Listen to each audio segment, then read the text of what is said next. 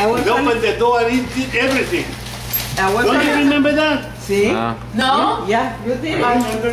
I did it. Yeah, it was you our did it. first, our first You had to banana know, see? microwave. And you didn't know that an egg in the microwave could explode. But you, you put a whole egg. In the And microwave. then, mm. yeah, but she didn't know, but you know that. You know that. Maybe he wanted, he wanted it to blow up. That's so we can get new one because he hated it. You put it in the microwave, the microwave did wow. that's right. No, the macaroni, Yeah. no, the egg, the egg Huh? explode and open the window.